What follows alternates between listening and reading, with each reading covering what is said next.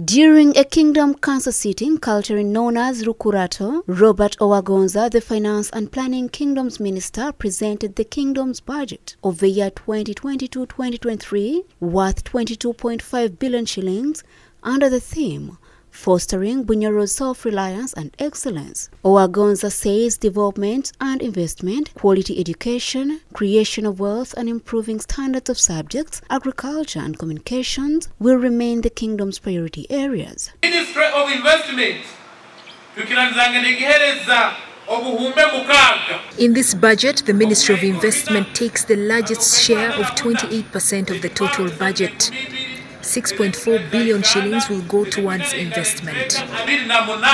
Abiri Owagonza cautioned the public against giving cash to people who masquerade as kingdom officials to sell off land. He says the kingdom has started surveying and opening of the kingdom's land boundaries to protect it from grabbers and encroachers. omuntu wenda kwijja n'abaduupaduupa If anyone approaches you and tries to deceive you that he or she is a kingdom official and you should give them money to get certain services, please say no. no tikikwikirizibwa ngeno maiso kujugubya enganda kwenda mali kwoleka enganda kulaba nti zona zonna zihandiikirwe zimanyirwe kurungi kandi zino bwebembezi Owagonza said this financial year they are going to renovate some of the culture sites and asked locals who are settled on kingdom land to prepare to move to other areas. yonyikairohan kuno mwaka gwa kataano kuleikubwawo I only know one piece of land that was leased. We leased it to the Kagadi district local government and we have it in our records.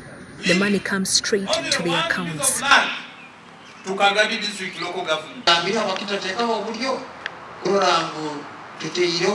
We want to ensure we establish a council of elders to look out for the interests of Bunyoro and its people.